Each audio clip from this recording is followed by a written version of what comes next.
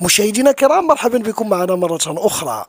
اليوم جوج 12 الموضوع اللي عدد كبير من المغاربة كيتبعوه موضوع التهامي بناني مشاهدينا الكرام لتنوي الرأي العام أكثر في الموضوع مؤخرا كان الملف جاهز بدات الدفعات الشكلية بالدفاع ديال المعتقلين انتهوا هنا غادي تبدا المرحلة الثانية اللي هي المناقشة أو الدفعات الشكلية فيما يخص الطرف المدني اللي هي الأم حياة اللي الدفاع ديالها أستاذة زين بخيار مشاهدينا الكرام.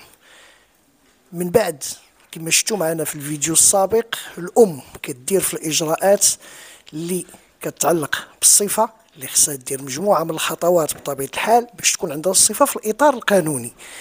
آخر المستجدات في الموضوع هو الجلسة ديال اليوم.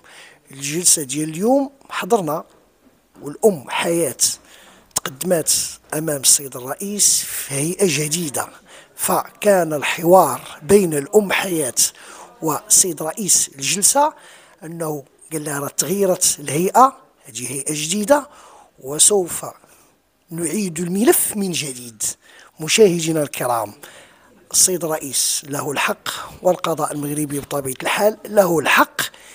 إنما أسباب ومسببات إعادة الملف من جديد الهيئة هي اللي عارفة. هل مسألة تكييف أو أمور أخرى أم تدقيق في الملف بطريقة ممنهجة من أجل الوصول للهدف الأسمى في الموضوع وهو وهو تحقيق العدالة. مشاهدينا الكرام الجلسة تأجلت ل 16 12 اللي غادي تبدأ بطبيعة الحال ملف التهامي بناني خلاصة في الموضوع هيئة جديدة مع الحوار القصير الذي دار بين في جلسة علنية دار بين السيد الرئيس والأم حياة أنه قال لها هيئة جديدة وسوف نعيد الملف من جديد. مشاهدينا الكرام غادي نشوفوا الموضوع مع الأم حياة. تروي لنا شنو كيفاش كتشوف هي الملف؟ مشاهدينا الكرام تعليق المواطن. شكرا لكم.